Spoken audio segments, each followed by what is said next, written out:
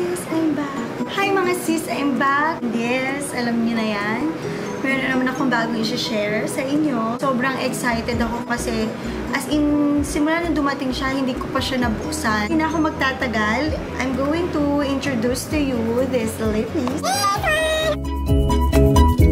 So, these are the four shades ng, what do you call this, Kylie Jamae. Hindi ako sure kung ayun talaga yung yung tamang pronunciation about sa product na to or sa brand na to. From the time na nalaman ko to, talagang nag-research ako. Sabi ko kung saan ba siya mabibili and so on. Yan. Tapos, ang unang nakita ko is from DNA na jelly lipsticks na merong uh, flower inside. Dali-dali talaga ako bumili kasi hindi ko alam na ang original um, jelly flower lipsticks pala is the Kylie Jamae. So, yung nabili ko from DNA, as in, clear lipsticks lang siya, jelly, and may flower lang inside. Pero, ang pinagkaiba nila dito kay Kylie Jamae is, merong gold flakes si Kylie Jamae. So, mas bet ko siya kasi syempre mas pack yan, diba? Siguro i-cut ko muna and then babalik lang ko i-open ko lang yung mga plastics lang tatanggalin ko and then yung box, sabay-sabay natin yan tignan. Ayan mga sis, na-open ko na siya, wala nang mga plastic. Share ko na sa inyo kung paano ko siya nabili. Pinili ko siya from the website ng Kylie Jamae kyliejamaibeauty.com Nabili ko tong 4 na to. It's a set. Cost 75 US dollars na siya. This 4 combo set. Yung binili ko para at least lahat meron akong shade. Actually, each um, lipsticks cost like um, $22 US dollar.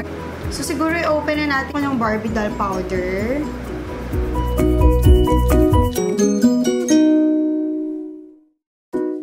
medyo naka-embossed yung dito sa logo, yung pinaka-logo niya. So, sa part na to, sa gilid na yan, wait, I'm going to show you.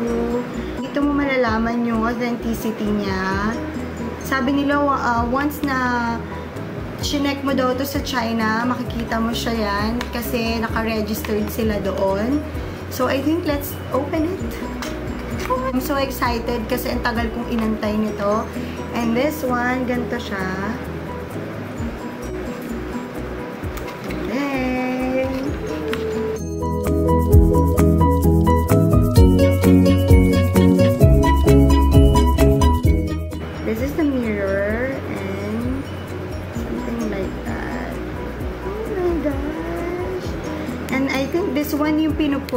This one is a push button na kailangan mo siyang i-click para lumabas yung pinaka-lipstick. So, let's try. So, oh my gosh!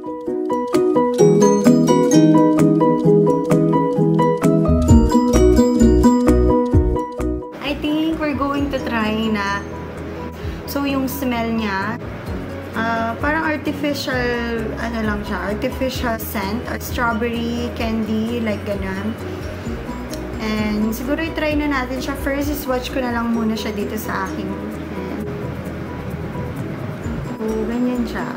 Very light siya, pero as per doon sa mga reviews niya, it depends on sa temperature, nag-change daw yung color niya. So, Siguro pwede na siya kung meron, alam niyo yung mga mood rings na nagbabago daw yung nagbabago yung color depende sa mood mo. So ito hindi sa mood, depende sa temperature ng I don't know kung ng body or ng paligid mo whatsoever. Pero ito na yung sa kanina, medyo nagpipink na siya. So try na siguro natin siya sa lips natin.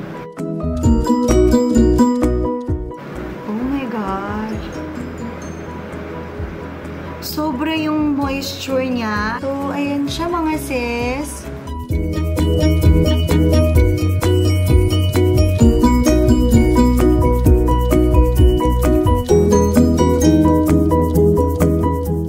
Kaso medyo may aftertaste siya. Parang parang wax. Per dito sa pinaka-box niya, basahin ko lang sandali. This product nourish and moisturize your lips, thus keeping your lips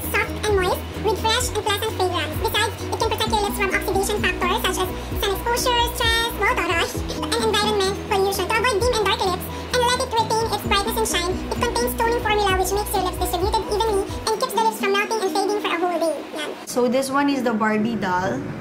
Mm-hmm. Ito, ito na yung sa kamay ko. Wait, kita ko lang. So, as you can see mga sis, the more na tumatagal siya, the more na nagkakaroon ng color. Naku ha, sa sobrang moisture, para na siyang ang oily na nung nung lips mo, alam mo yun, sobrang dulas kasi niya. Siguro i-open na natin yung iba para makita lang natin yung mga differences niya. So, this one is the Dream Purple.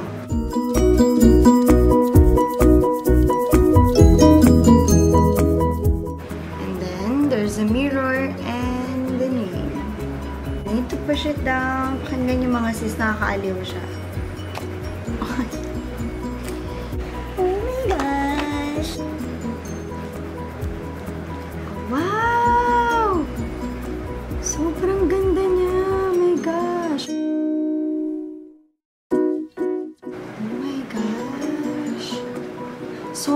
ganda ng flowers niya sa loob. Alam mo yun?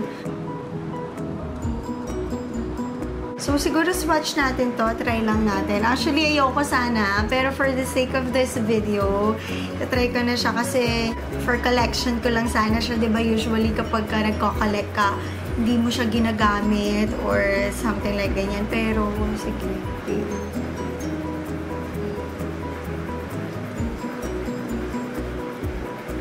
So, yan siya. So, at first, very, very light siya. Makikita nyo din. After mga ilang minutes, I think, makikita mo na yung color niya.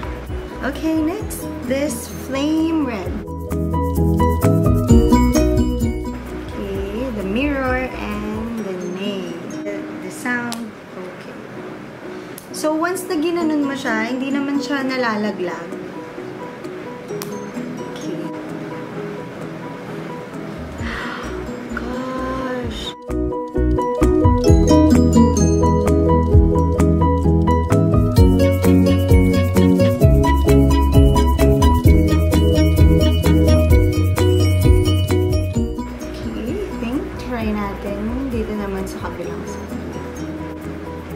Same lang sila lahat ng smell. Wala namang pagkakaiba.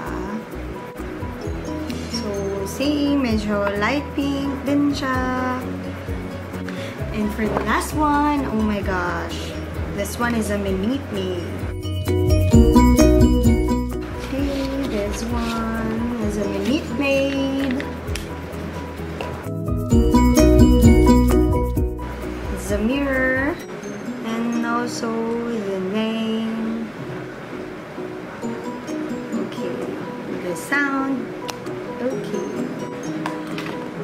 God, ang ganda niya. natin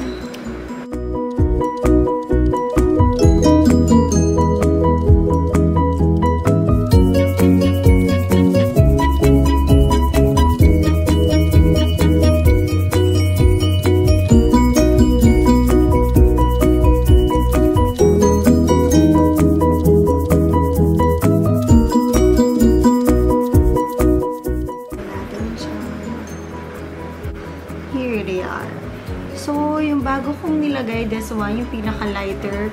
As you can see, wala silang pinagkaiba. Ito sila mga sis. Sobrang ganda niya.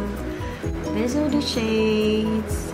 Walang pinagkaiba yung mga colors nila, but ang pinagkaiba lang is the flowers inside. Uh, pare-pareho ng smell.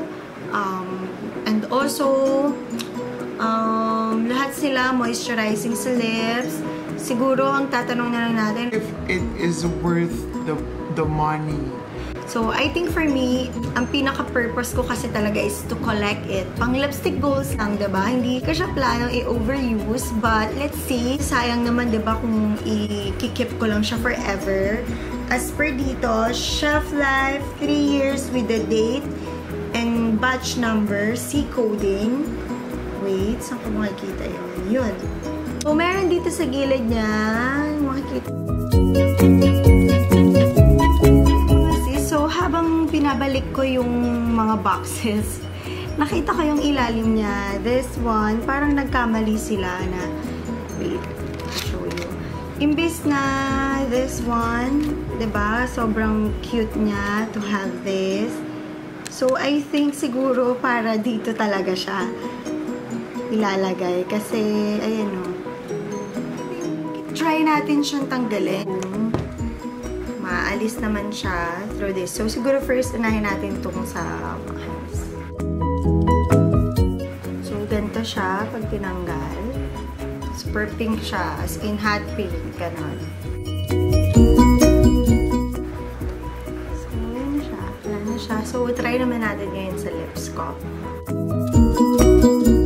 Natatanggal din naman pala siya. Ayun lang naman mga sis. I hope na nagustuhan niyo rin siya as much na nagustuhan ko ang mga lipsticks na to. Sobrang lipstick goal siya for me. So, yun mga sis. Thank you for watching. Bye!